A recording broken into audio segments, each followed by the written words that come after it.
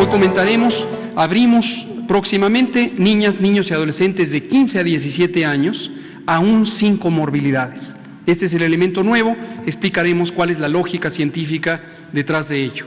Y finalmente las personas que vayan cumpliendo 18 años, conforme eh, pasen los días y los meses durante todo 2022, también serán vacunadas según cumplan la edad. Vamos a ver en la siguiente gráfica, vean ustedes, esta es la mortalidad por 100.000 habitantes, noten la escala, el tamaño de eh, los números y en el eje horizontal lo que vemos es edad de 10 hasta 20 años. Es un enfoque a este grupo poblacional. Noten ustedes cómo entre 10 y 14 años la mortalidad es sumamente baja, desde luego por debajo de 10 años es aún más baja.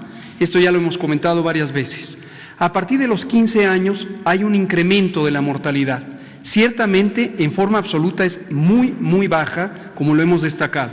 Pero en comparación de estos dos grupos, de 10 a 14 y de 15 en adelante, aumenta progresivamente la mortalidad conforme aumentan los años de vida, la mortalidad por COVID. Esto se debe a distintos eh, cambios que hay en el sistema inmune de las personas a partir de esa edad y hace que empiecen a ser más susceptibles. Cuando se llega a los 18 años es aún más susceptible y desde luego en el extremo de la vida la mortalidad es bastante mayor.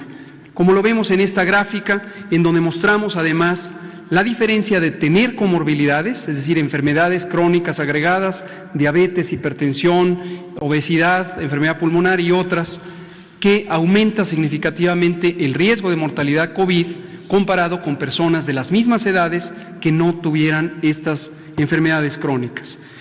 En verde se ve sin comorbilidad, en el color dorado con comorbilidad.